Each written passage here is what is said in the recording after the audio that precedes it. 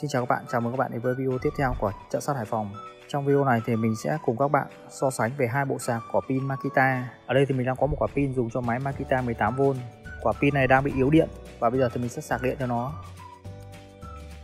Ở đây thì mình đang có hai bộ sạc và bây giờ thì mình sẽ cùng các bạn so sánh về hai bộ sạc này xem có gì khác nhau. Đây là cục sạc dành cho máy 5S 18V, điện áp để sạc là 21V và 2A có đèn báo điện khi đầy. Cục sạc này thì rất là phổ biến vì nó có giá thành rất là rẻ và nhỏ gọn. Còn đây cũng là cục sạc pin, cũng được ghi là 2A, mặc dù đều là 2A, tuy nhiên kích thước và trọng lượng của nó khác nhau và chúng ta sẽ cùng so sánh thử hai chiếc sạc này. Đầu tiên thì mình sẽ dùng cục sạc này để sạc pin. Bạn chỉ cần cắm vào rắc là được.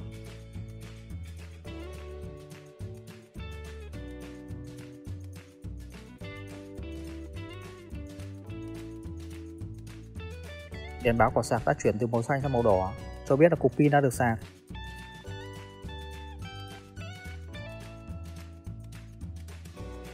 Và bây giờ thì mình sẽ dùng một chiếc đồng hồ wattmeter để đo. Mình sẽ cắm rắc sạc vào chiếc đồng hồ này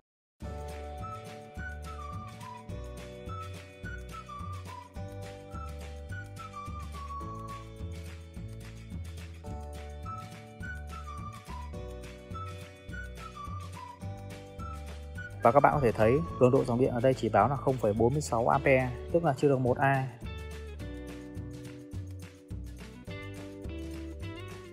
Công suất là 8,8W, điện áp là 19,2V. Các bạn có thể thấy cường độ dòng điện rất thấp. Trên tem của sạc pin là 2A, nhưng khi đo thực tế ở đây thì mình đo được là chưa đến 1A, thấp hơn rất nhiều so với công bố của nhà sản xuất. Ok, tiếp theo thì mình sẽ đo thử chiếc sạc này.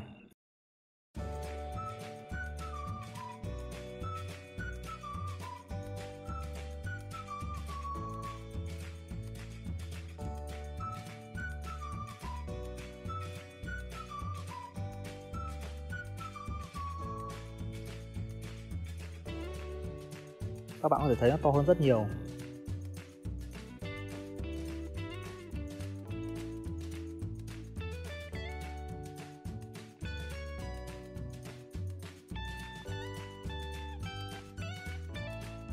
Mình cũng sẽ cắm tương tự vào để đo.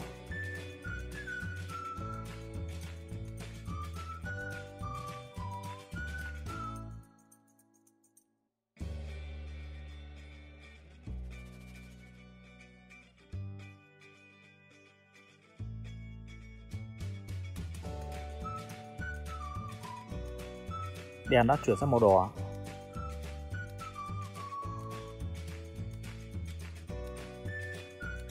bạn có thể thấy cường độ dòng điện đang báo là 1,78A, gần 1,8A, điện áp là 19,8V, công suất là 35,2W. Bạn có thể dễ dàng nhận thấy sự khác biệt giữa hai chiếc sạc này là rất lớn. Chiếc sạc đầu tiên chỉ có 0,46A còn chiếc sạc này là 1,78A tuy không có chiếc sạc nào cho ra đúng với thông số của nhà sản xuất. Tuy nhiên thì chiếc sạc thứ hai nó mạnh hơn rất nhiều. So với chiếc sạc thứ nhất chiếc sạc thứ hai thì nó gần đúng với công bố của nhà sản xuất hơn. Và trên thân của chiếc sạc thứ hai thì nó có cả quạt tản nhiệt còn chiếc sạc đầu tiên không có. Cùng là 2A nhưng chiếc sạc thứ nhất rất yếu. Qua video so sánh này thì chúng ta có thể kết luận được rằng những cái thông số mà nhà sản xuất in trên ờ, thiết bị thì chỉ để tham khảo, nó không đúng với công suất thực tế. Với chiếc sạc đầu tiên thì bạn vẫn có thể sử dụng được, tuy nhiên thì thời gian sạc sẽ mất lâu hơn. Nếu anh em không có việc gì gấp thì vẫn có thể sử dụng thoải mái. Còn trong trường hợp anh em làm việc liên tục, cần dòng sạc nhanh, thì chiếc sạc thứ hai là lựa chọn tốt hơn về kích thước và trọng lượng thì hai chiếc sạc chênh lệch nhau khá nhiều và cuối cùng là giá bán của chúng cũng khác nhau.